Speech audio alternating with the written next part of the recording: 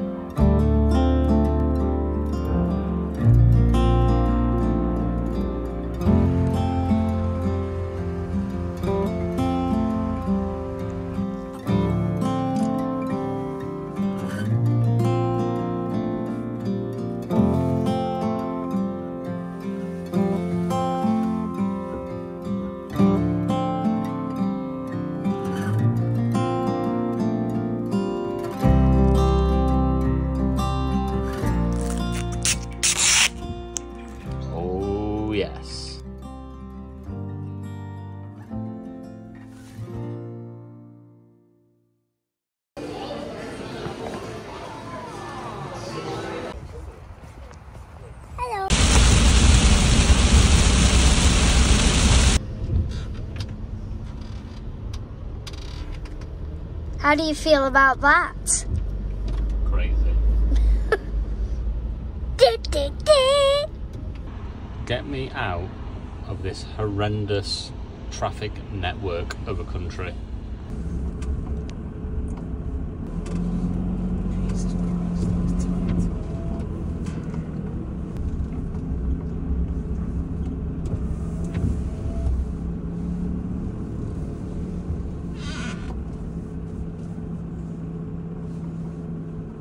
Right guys, I'm not sure if you can see me. Um, I'm being quiet because we're in a, like a public car park. Um, so try not to make too much noise, although it is windy outside and the sea's crashing against the wall next to us. It's um, 26 minutes past midnight. I've just sorted the van out. Um, we tried to get into the Channel Tunnel because one of my friends advised me that you could get in early and crash in the car park overnight. Obviously, you could a while ago, but they've locked down on it, so that's not allowed anymore. So we got kicked straight out, and um, well, we didn't get kicked out. We just got told we couldn't do that, so we just got sent through the exit and back out again. He said come back in the morning. He's pretty pretty nice about it, the guy. Um, so yeah, just have to crash down here. It's only six minutes, and there's a BP garage where I want to go in the morning anyway. So um, that's en route back there. So it's all win. It's all a win. Um, it took us forever to get down here because, well, we're in England, aren't we? Let's be honest. Don't need to explain the traffic. So Amika's in a new bed down down there. We haven't got the covers on yet because we've just run out of energy and time, haven't we? How is it? Is it all right? It's a lot better, isn't it? We've gone back to the bunk system again now. So anyway, I am extremely tired. I think I set off at quarter to two and got here at midnight. So yeah, a long time. I don't even know how many hours that is because my brain stopped working about three hours ago. Right, I'm getting into bed and um, yeah, I'm gonna set the alarm nice and early, get up, have something to eat, and then go to France. See you in the morning.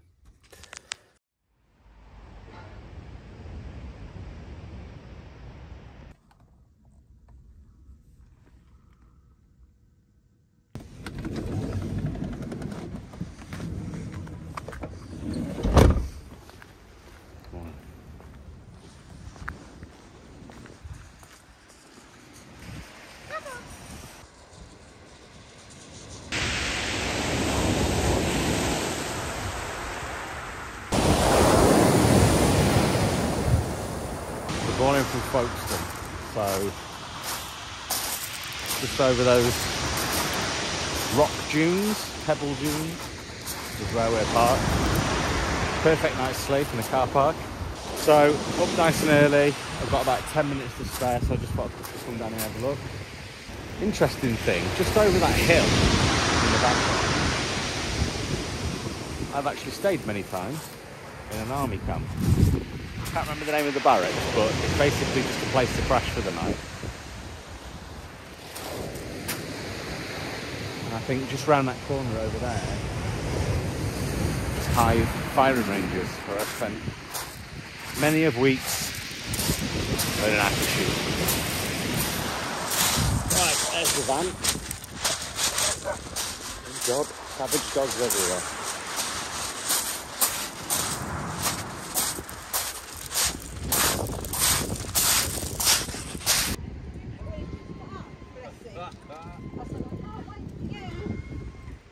We're late. Bye. Good morning. Running. You right? Not enough sleep. Sleep. Fine. Not, not enough sleep. Mika's really, really, really tired. But to be fair, neither of us have had a lot of sleep, have we? Got So about six or five hours. yeah, not great. Not great when you've got to be travelling till probably. Well, if we go all the way down to Switzerland or France, basically the Alps, wherever we decide to actually go, um, we're going to be travelling until probably about 10 o'clock UK time, 11 o'clock France time, or Switzerland time. Not too tired to play on computer though, are you? No. Right, let's go.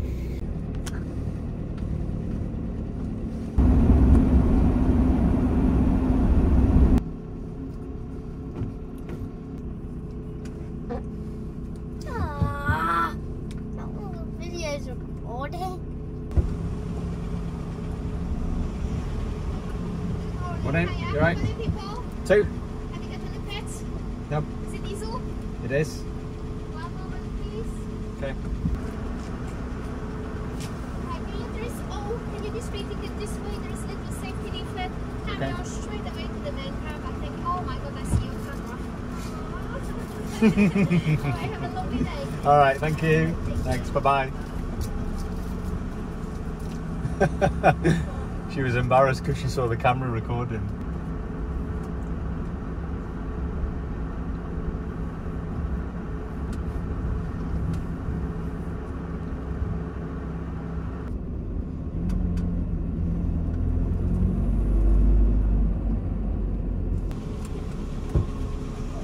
Hiya, you alright? Two of you. Just the two, yeah?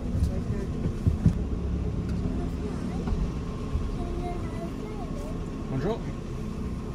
Merci.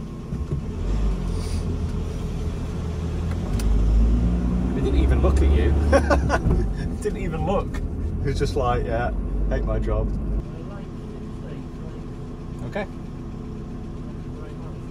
Perfect, thanks a lot.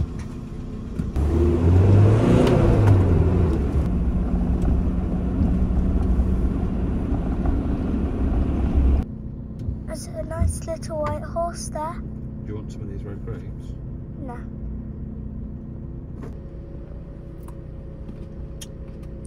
How do you like that white horse?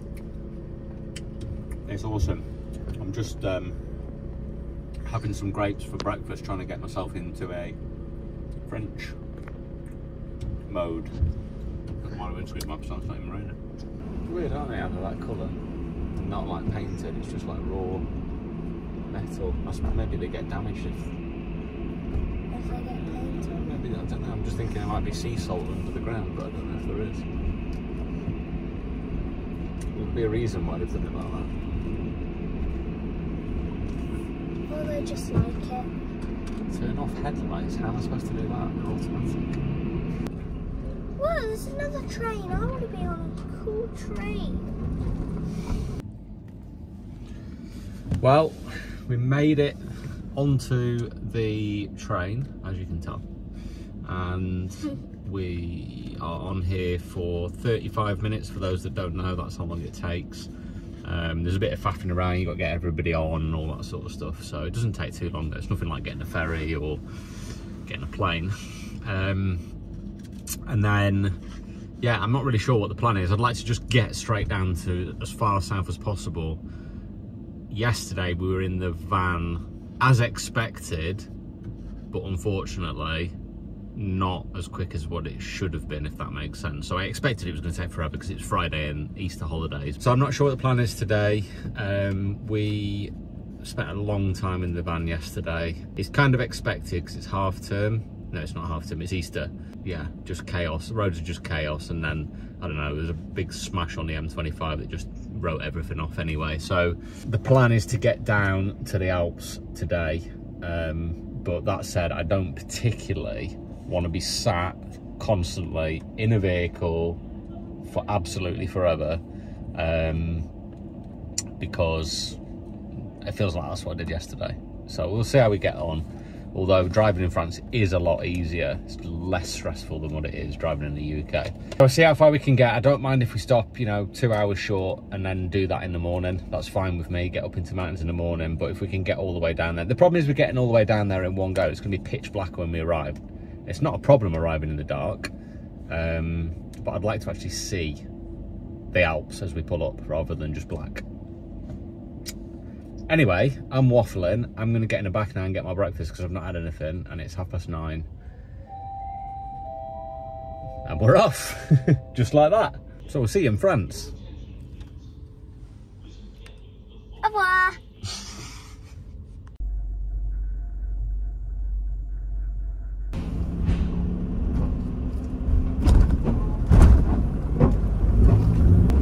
Welcome to France.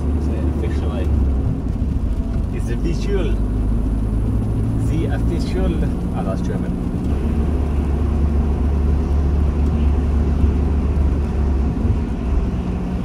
Bonjour, mon ami. So, we're making good progress because uh, we're in France and there's no traffic anywhere. Where are we going? Why are we going there? And what are we going to do? So, we're going to Germany via France, Switzerland, Liechtenstein, Austria, and maybe Italy. So by the time we've got to Germany, we'll be on six countries, and then when we go back, we're going to go through Holland and Belgium. So. Yeah. Oh, I just nearly went into the wrong lane because I'm in the wrong country. Why are we going there? Well, we're taking Amika to see her mum in Germany. She's not seen her mum since September last year, and it's obviously April now. Yeah, we'll probably spend six or seven days with Amika's mum. But prior to that, we're going to go the long way around because why not? So the plan is to get down to Chamonix today, hopefully. Spend I don't know, I don't even know what the plan is to be honest. But basically, you spend some time there, whether it's a day, two days, I don't know. Um, then over to Grindelwald, Grindelwald. I'm not sure how you say that, but um, which is where the Eiger is. So Mount Blanc first, then over to the Eiger. Um, hopefully, hopefully, we can see some wingsuiters or base jumpers. Um, I don't know whether they jump in these conditions because it's pretty cold down there.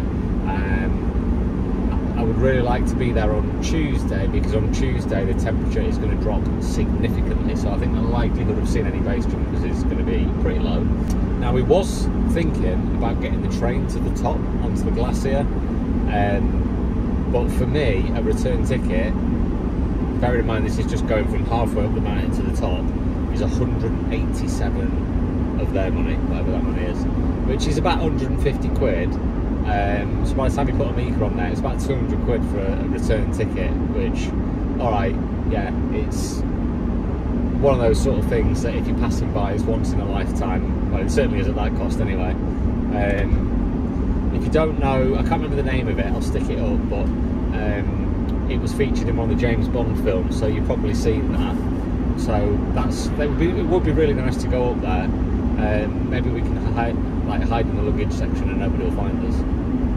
Then after that, we've got a decision. We either go back and go round to Italy. Um, so on the Tuesday, it's going to get down between, well, temperatures are varying on different Alps, but between about minus 14 and minus 25. So fingers crossed we can get some seriously cold temperatures. And wait for this: if we drop down through the Alps, through the tunnels, and go into Italy, as we pass through to go towards Lake Como, there's a name of a town again, I can't remember of it, something, something of event. Um, and the forecast for Wednesday is 26 degrees. So from minus 24 to 26 degrees, a big, ma- like a massive difference. Um, so like kind of through Lake Co- Como, depends how we're doing for time. Um, we could then push on a little bit further east and then hit the Dolomites and come back up through the Dolomites, uh, through Austria, hang over to Neuschwanstein Castle, which is somewhere where I've always wanted to go uh, from a very young age, and then into Germany. But anything could happen. Anything, anything, anything could happen. Anything could happen. Like literally anything could happen. As you know from a previous video, I had the van remapped. Now I averaged, just by driving like I am now, between 26 and 27 miles per gallon in the currently sitting at 33.8 and I'm doing 59 miles an hour. If I include yesterday's journey and today's journey, I've done 397 miles and I'm averaging 31.6 miles to the gallon. Now I've actually got bigger wheels on than what the Speedo thinks. So my miles per gallon is actually more than that on top of that. So anyway, going back to the remapping, yeah, all it's done is it's told things when to move and when to do this and that, and, and it's made my engine more efficient and more powerful. Now I could have had it even more powerful if I wanted to, uh, but what that would have done is it would have made it less efficient. So I've gone for fuel economy because it's a van that's heavy, it's not a high performance car. I'd rather be more economical. I can just sit on these roads, cruise along, and uh, save a little bit of money on the way. Anyway, let's carry on. Let's find somewhere to stop in the next hour or so to get some food on the go.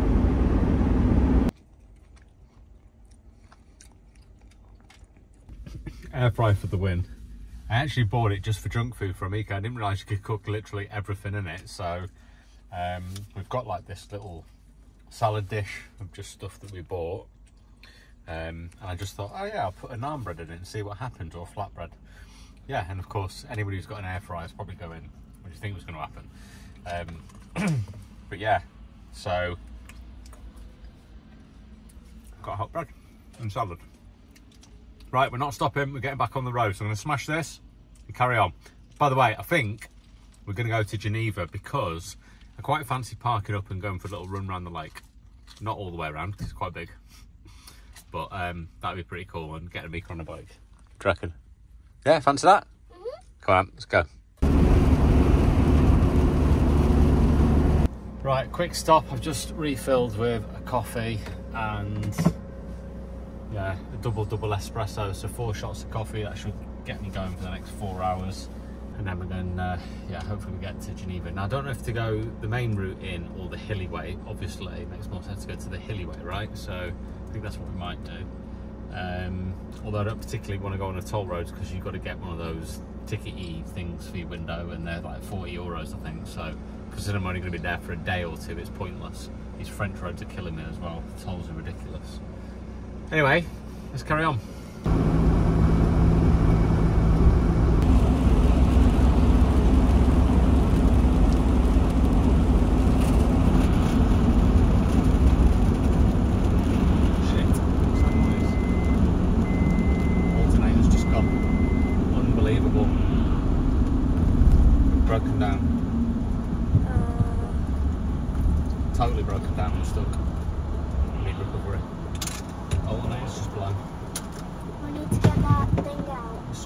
No, the alternator's gone. Oh, We're broken down properly.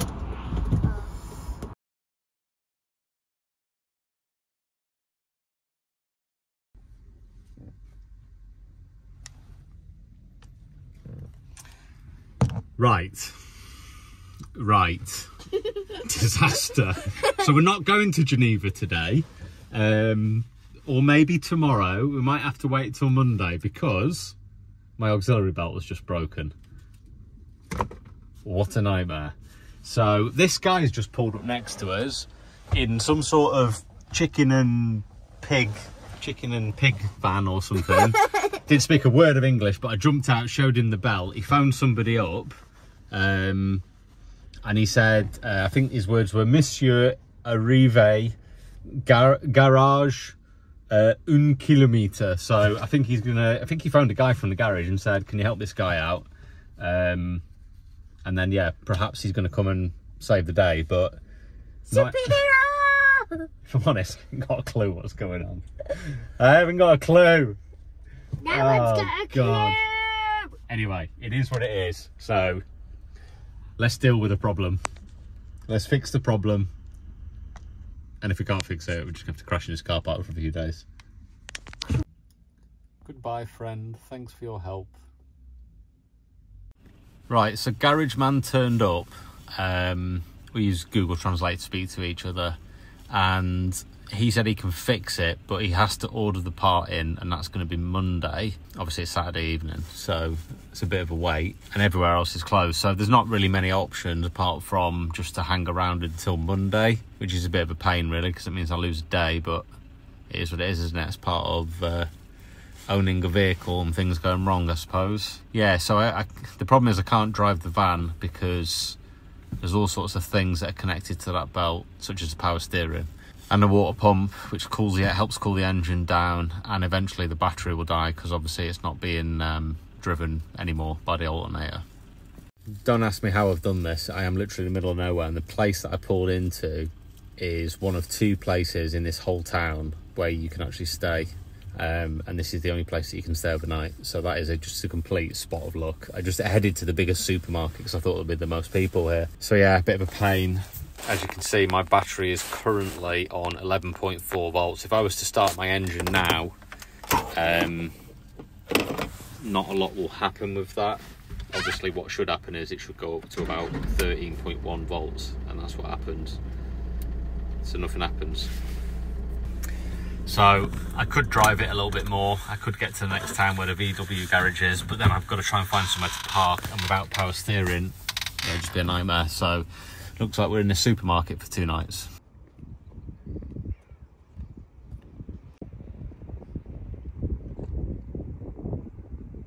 So this is where we are for the next 36 hours or so. There's a car garage behind here that fixes cars.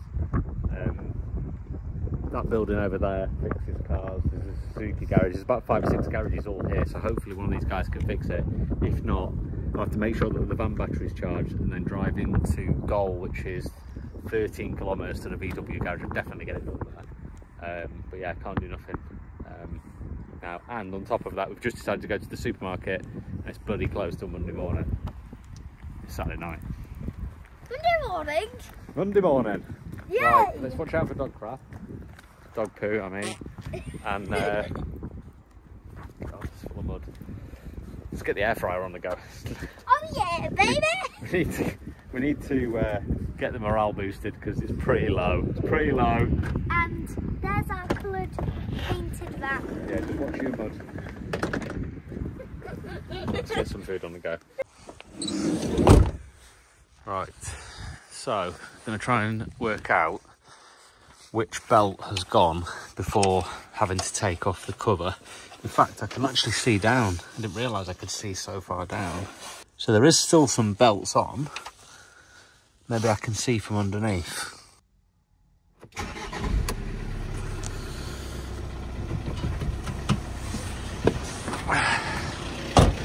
So if, the alternator belt's okay, the voltage will have gone up and it hasn't. It's actually gone down.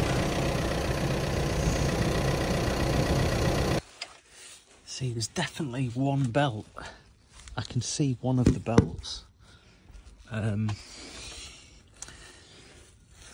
I think that's the belt that's on the fan belt. That's driving the fan belt. So that's probably the fan belt then, isn't it? I just don't know the diagrams.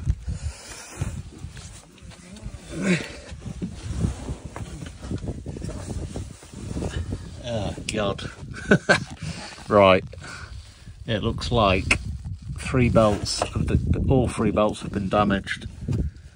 So that belt is the outside belt and the two inside belts are absolutely destroyed. Yeah, so there's all the other pulleys, look. So we're going nowhere. We are going nowhere. Let's get over this side a bit. Oh god. I'm just looking for any other damage. It doesn't look like anything's damaged. It just looks like the belts have just thrown themselves off. So that's at least we know what's wrong.